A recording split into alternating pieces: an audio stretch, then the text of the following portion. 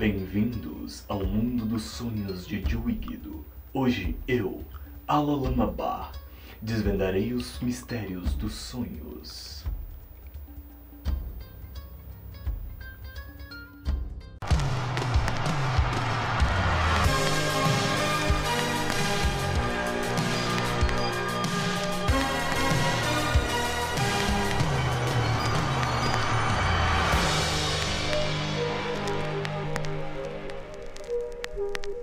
Sejam todos muito bem-vindos à sala muito bem iluminada do Joy Tokito. Eu sou a Lamabá, também conhecido como Joy Kichiri. E eu sou o Guido. E por favor, não fique fazendo sua voz até, até o fim do episódio. tá, eu vou tirar. Tá bom. Deixa eu descaracterizar aqui. Joey, informe para a nossa audiência qual é o tema de hoje. O tema de hoje é sonhos e qual a importância deles na nossa vida. Mas não é sonho. Ai, o meu sonho é, é ser um, um astro do cinema. O meu sonho é ser o maior piloto de fuga que a cidade já viu. Na verdade, é sonho, sonho. De dormir. Isso. Tá, que bom, porque eu tava pensando que era sonho de dormir, e se fosse outro, eu ia estar com a cabeça em outro lugar aqui. Não, é sonho de dormir, sonho de dormir mesmo. Ótimo. Porque. hum, Isso aqui não tá dando certo. Ah, deixa eu queimar que esse aqui é o de dinheiro. Deixa eu E, e queimar. o de views. Tem que queimar o de views. A gente Vou tá mais longe. Ainda não tenho de views. É, Daqui a pouco eu ataque rinite. Vai. Tá. ahn, eu. Em 2016 eu participei de um quarto, né? Sim. Trabalhei com um quarto, trabalhando na área coletiva com os guri, fazendo vídeos pra YouTube, Instagram e tal. E eu tava me divertindo muito. Porque, né, é uma coisa que eu, Que a gente curte fazer. É, que a gente curte muito fazer e era quase que uma realização de um sonho, assim. Tava trabalhando com eles. Só que. ah, eu acabei. Deixa eu ver se uma coisa. Tá, achei que o microfone tava desligado. Ah, Aí tudo aquilo que eu fiz no começo, tá ligado? ficou só um. Ah, só que eu queria. Aquilo não tava ah, condizente com com o meu propósito, né? A gente faz isso aqui hoje porque a gente gosta de, de extravasar nossa, nossa criatividade, nossa imaginação e a gente precisava dessa válvula de escape, eu e o Guido. Mas. E conversar também. e conversar também. Mas eu percebi que aquilo lá não era o que eu queria fazer da vida. Né? Então ali que isso começou a surgir a escola Caxias Criativo, começou a surgir um monte de coisa. Mas fica aquele sentimento, né? Quando tu sai fora e eu sou, e eu sou uma pessoa muito nostálgica. Eu, sabe, quando eu tô quietinho, assim, fazendo nada, eu fico pensando, ah, mas aquele tempo era bom, aquilo lá que aconteceu foi muito legal, aquelas pessoas que eu conheci e tal. E hum, ter saído do, da noia coletiva ali foi um. Foi harsh pra mim, assim. Sim, Bah, doeu o coraçãozinho. Doeu o coraçãozinho, assim, ter que largar aquilo. E. hum, Mas como dizia, como diria o chorão, né? Cada escolha é uma renúncia. Isso é a vida. Estou lutando pra me recompor. daí. Grandes referências. E daí sempre que eu passava lá no nosso estúdio, sempre que eu passava, era na, na antiga Coletivo Labs, no estúdio fotográfico deles, né? Sempre que eu passava lá, eu olhava, ficava olhando, que eu parava ali na sinaleira da 18, eu ficava olhando pensando, bah, é, tipo, dava aquela dorzinha, sabe? Uma vontade de chorar, assim, pô, era muito Nossa, legal. que pedido. É porque era muito legal, né? Sim. Tu foi lá algumas vezes, tu viu que era um ambiente completamente absurdo, assim. E daí, bah, toda vez que eu passava lá eu olhava, pensava, eu quero voltar, eu quero, né, isso tinha que rolar de novo, eu quero voltar no tempo e viver aquilo lá de novo. Ahn, só que aquilo tava, isso tava começando a me fazer mal, sabe? Tipo, quando é muito nostálgico, tu começa, tu fica pensando muito, bah, aquilo era muito bom, e eu começava a pensar que não era nem perto do que eu tava fazendo naquele momento que era ECC. E aquilo lá começou a interferir negativamente no meu no meu trabalho, assim, de, de eu ir pra esse tu não querer estar onde tu tava, porque tu ficava pensando, puta, eu podia estar de novo. Isso, eu lá. podia viver aquilo de novo, sabe? É só juntar as pessoas, é fácil juntar essa galera. Hum. Ahn, e começou a interferir negativamente, assim. E daí eu, puta merda, né, cara? O que, que, que eu faço? Sabe? Tu conversa com as pessoas e as pessoas não te entendem. Sabe? A pessoa não consegue. A pessoa vai te dar uma. Tu vai conversar com ela, ela vai Mas ela não vai entender o um- sentimento que, que É, e te ela- liga aquilo. Isso, ela vai É. querer te dar um, um- uma dica do que fazer, mas se ela não entende o que tu tá passando, a, a dica dela, o conselho dela não vai valer de nada. Entendeu? Porque ela vai te dar um conselho baseado no que ela tá vivendo naquele momento. E ninguém sabia, tipo, ninguém solucionava esse meu problema, sabe? E daí um dia eu fui dormir assim, tava. Bah, tinha recém passado na, por ali, era um, um domingo, assim, acho que era. Tinha passado ali que tinha, tava tendo um evento dos guri ali perto. Ahn, e ficou aquele sentimento, sabe? Daí eu vi a galera, tava lá perto e tal, eu vim pra casa, meio borocochô, porque no outro dia que tinha que trabalhar. E era início da ECC, né? Então tava aquele turbilhão de coisa acontecendo, estabilizar, tem que estabilizar a empresa. E daí hum, dormi, e quando eu acordei, e daí eu tive um sonho muito louco. Tipo, acordei no meio da noite, assim, tipo, sabe? Epifania. Vendo. É, vendo o universo passando na frente dos meus olhos. E daí. Só que esse sonho foi muito vira-chave, sabe? Porque o que aconteceu foi o seguinte: eu tenho uma mochila, que ela é muito grande. Que ela é uma mochila que eu usava no CETEX cinza, sabe? Sei. Ela é muito, muito grande. E. hum, Eu sonhei que eu tava indo pro estúdio, só que a gente não tava mais lá. Né? A gente tava fazendo uma mudança pra ir pro, pra, pro TME, né? Que é onde tá coletivo hoje. E tinha faltado umas coisas e eu me encarreguei de levar. Eu falei, não, galera, deixa que eu levo, né? E eu fui buscar essas coisas. Quando eu cheguei lá, tava aberto o portão, a grade, né?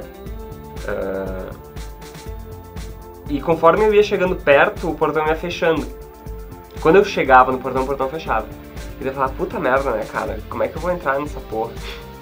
E hum, eu preciso ir lá pegar as coisas que estão lá, né? E daí eu abri a, a grade, né? Arrombei a grade. E passei, tipo, tri apertado, assim, né? Me cortei tudo e tal. Ah, e daí eu ia até o estúdio e quando eu chegar lá tava tudo vazio e tinha só essa minha mochila lá no meio. E daí eu, bah, mas tá tudo vazio aqui, né, cara? Já levaram tudo, não me avisaram, acho que é por isso que fechou o portão.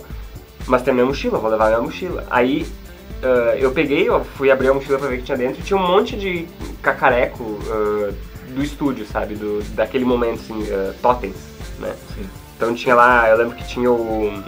o como é que é o nome? O. o- como é que é o nome da, da- da- do. O Gomes. Que era o, o cinzeiro, era o Gomes, né? Que era uma latinha de Gomes da Costa, era o Gomes.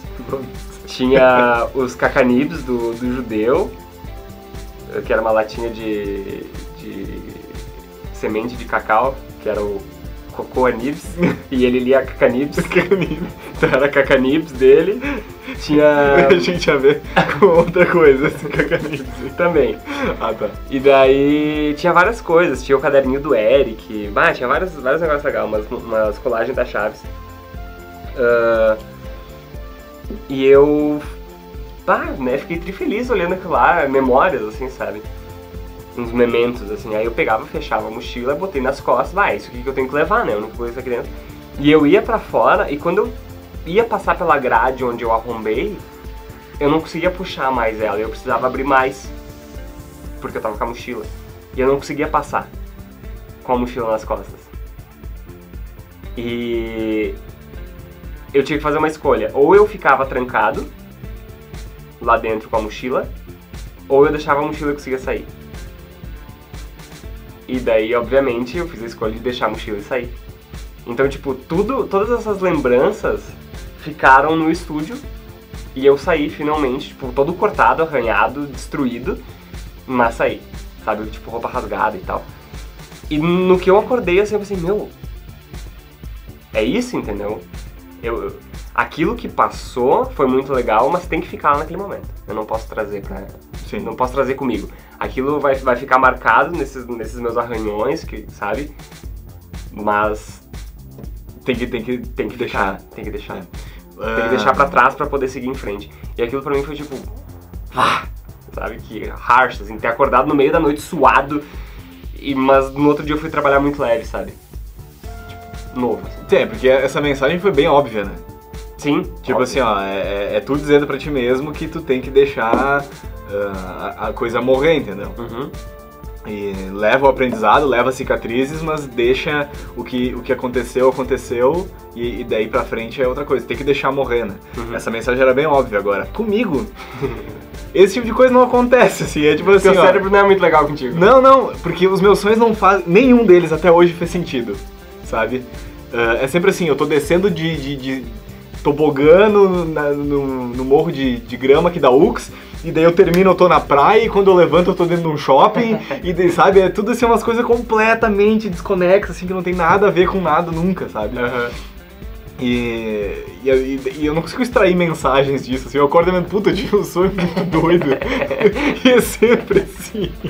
Porra, eu sonhei que eu tava na praia. O que, que isso quer dizer? É, não, cara, e não é assim, eu tô na praia e, e tá todo mundo bem, feliz da vida, pá, e daí eu viro a casa, eu vi- viro pro lado, eu entro dentro da casa e é outra casa em outro lugar.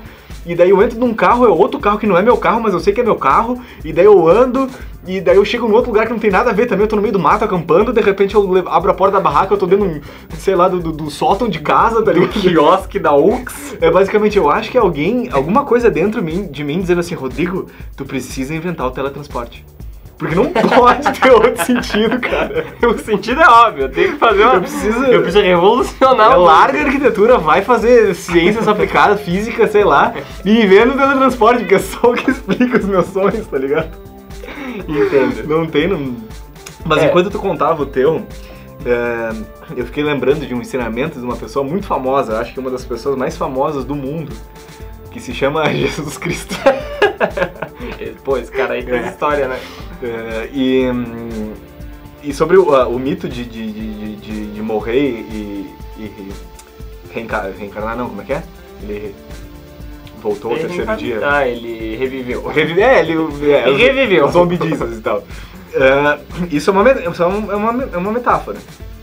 Ah, é? Sim, é aquela coisa, tu precisa, pra tu se tornar uma pessoa melhor, tu tem que deixar o teu eu do passado morrer, entendeu? Pra tu crescer e ficar melhor e se desenvolver, tu tem que se desapegar das coisas, tu tem que, assim, ah, essa, eu passei por essa fase, essa fase morreu, morreu, assim, ah, no sentido literal, morreu, e a partir daqui eu guardo a lembrança, eu guardo a experiência daquela pessoa que morreu, e agora eu sou Jesus Cristo. Jesus Cristo. Superstar. Não, não é Agora tem Jesus Cristo Superstar. Não, mas eh, a, ideia, a ideia é essa, assim, tipo, a mensagem é tipo assim, ó, morre e volta e renasce melhor, sabe? Até da, da Fênix e tal, sabe? De, de tu deixar mais as coisas. forte, mais veloz, mais impactante. Yeah! Daí fica bem fundo, Radical! explosões, né? Não, mas é, mas é mais ou menos isso, sabe?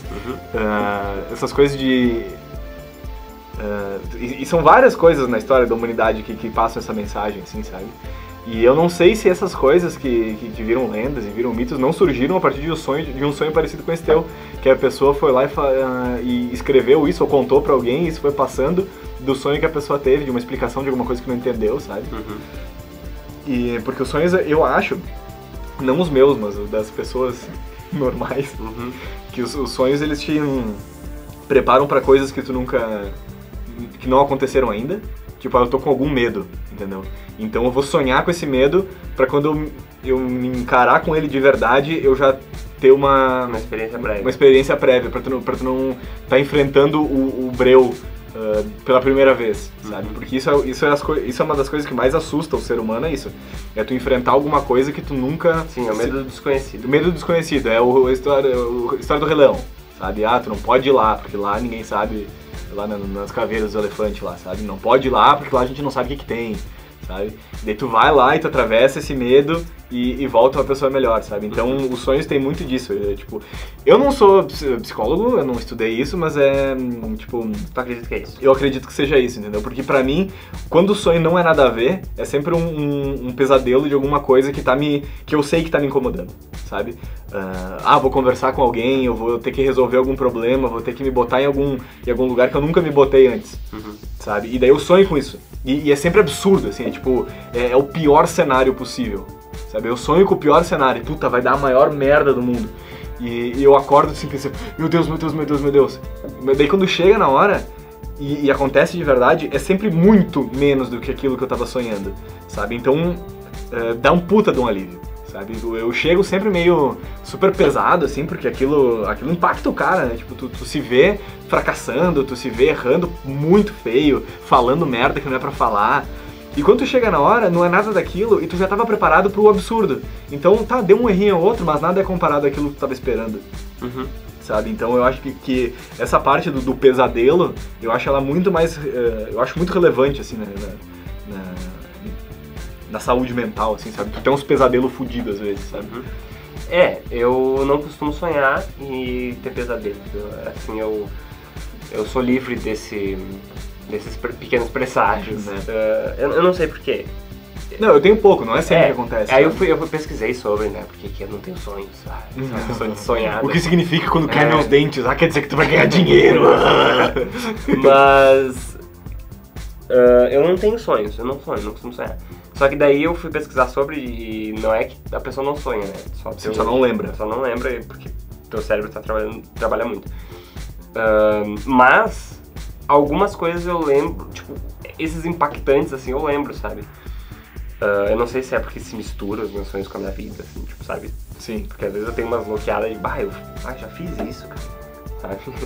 Uns déjà vu. É, Não, mas isso é outra explicação. não, não, não os déjà vu, mas tipo, eu, eu tenho certeza que eu já fiz isso aqui. Sim. Onde é que tá? Por que, que eu não tô achando esse arquivo, sabe? Sim, sim, sim, sim. Tu fez É. dormindo. É, exatamente. Ah, direto eu sonho que eu tô trabalhando a noite inteira trabalhando. Daí eu, tipo, é como se eu tivesse num, num dia da marmota, tá ligado? Eu, eu Aham. trabalho o dia inteiro, eu durmo, continuo trabalhando, eu acordo, vou trabalhar de novo, sabe? Tipo, E eu, eu não tenho essas, esses, esses, essas vivências soníferas.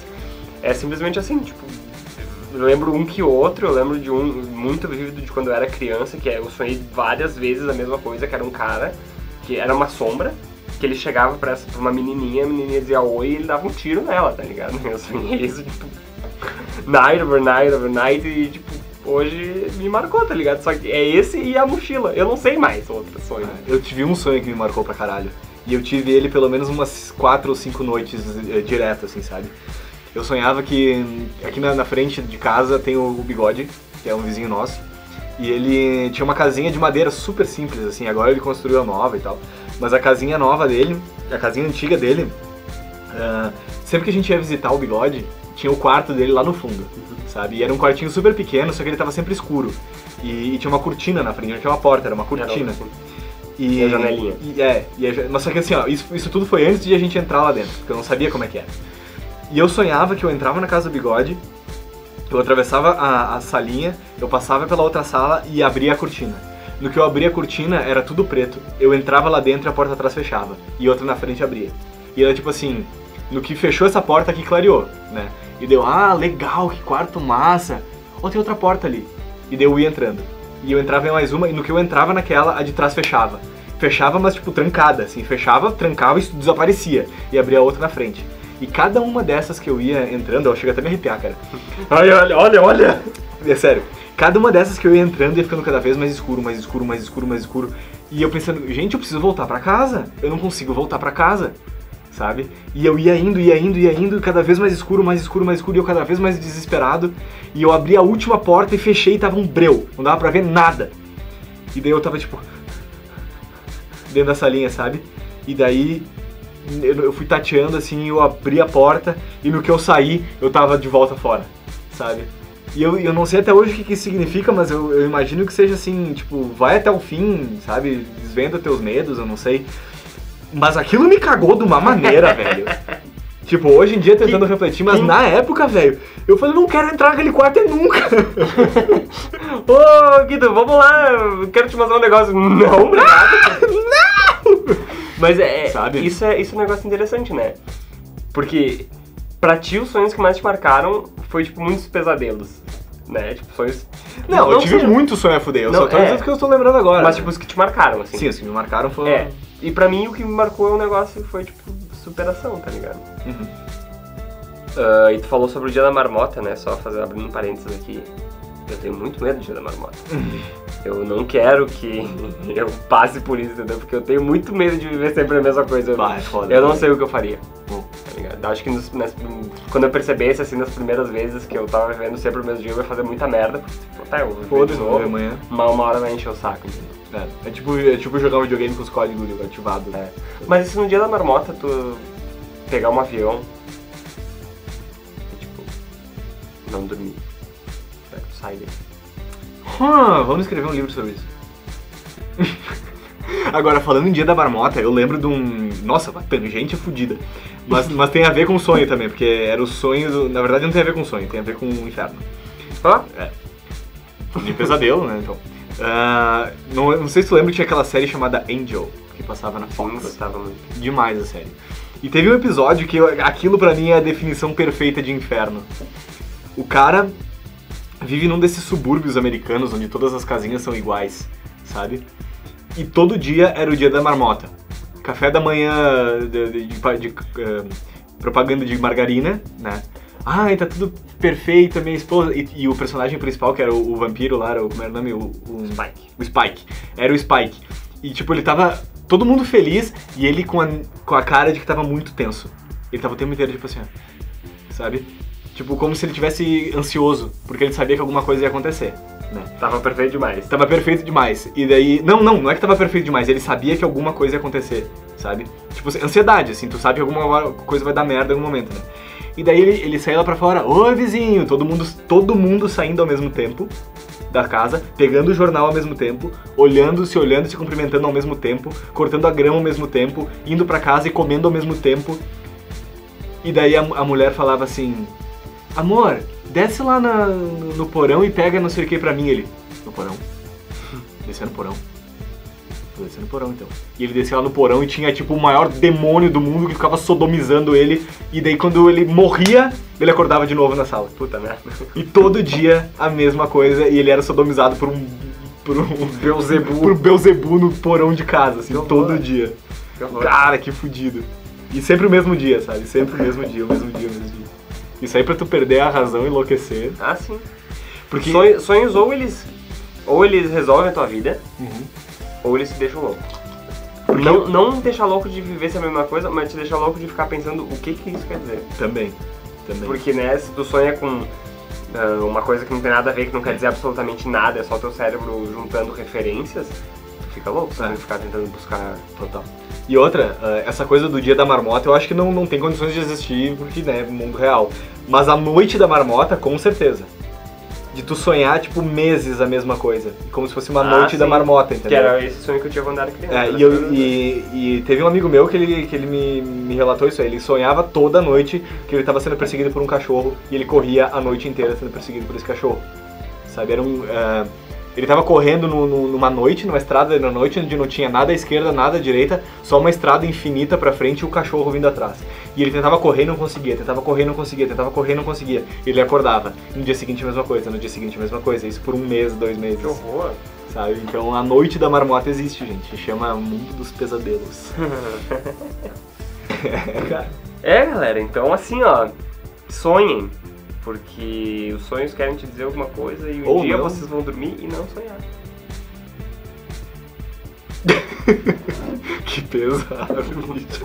Se inscreve no canal, deixa teu like aí, conta pra nós o teu sonho aí embaixo, qual foi o sonho mais doido que tu teve.